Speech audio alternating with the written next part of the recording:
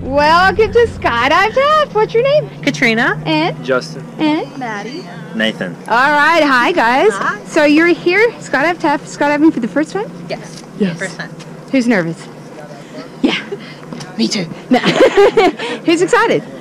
Yeah. Who's waiting to see when the door opens? Just kidding. so uh, this is the first time. How high are you guys going? 13. And it's a special occasion. Um, just Kinda. my kids are finally old Finally enough old to go. enough. Perfect. All right. Well, let's take you up to the uh, plane. Get you pushed out of it.